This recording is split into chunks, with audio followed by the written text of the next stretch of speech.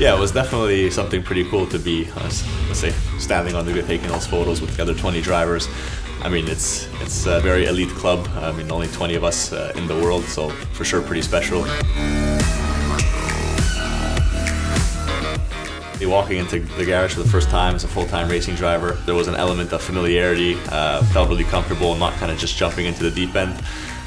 Uh, but yeah, no, definitely pretty cool because you you feel like it, the work is starting now. Uh, so the way the logistics kind of work in the Formula One testing is we have uh, two blocks of three days of testing, kind of split evenly between the drivers. So the first day, George and I shared the car. So basically, on the days where uh, on the sessions I wasn't driving, just kind of following along the session with the radio. Uh, and then obviously my actual on-track driving, proper test where the car is on track. There's so many procedural things uh, and just reliability items, let's say, that, that we're just running through and making sure the car is, is working well.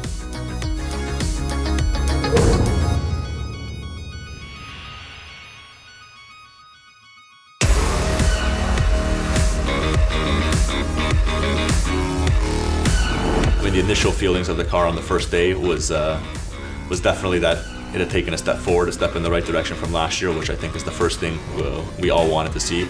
Yeah, as I said, initial feeling was was quite positive.